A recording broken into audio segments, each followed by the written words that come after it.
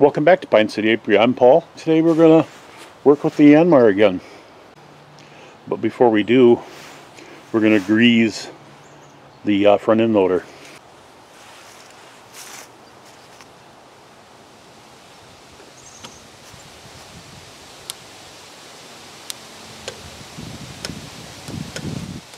There's six points,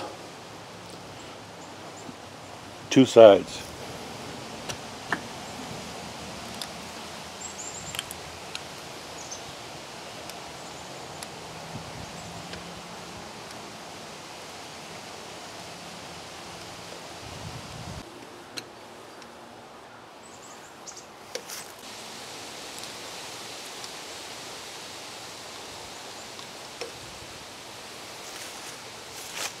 So far, those first two are the only ones that really need a lot.